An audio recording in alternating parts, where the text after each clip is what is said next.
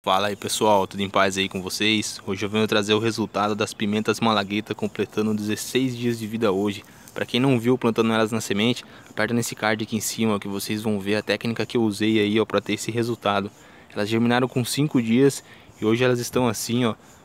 Vocês podem ver que elas estão bem verdinha, bem forte, sinal de que vai dar umas mudas boa, vai dar uma boa produção de pimenta.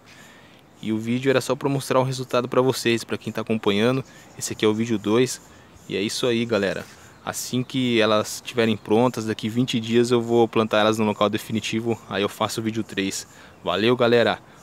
Até o próximo vídeo.